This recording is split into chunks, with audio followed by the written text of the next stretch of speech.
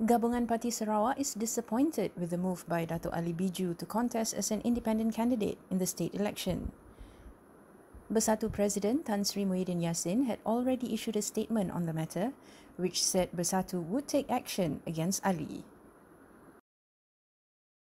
Yeah, then Tan Sri Muhyiddin did uh, make a press statement. He will take certain action against uh, uh, Ali Biju. You just wait lah.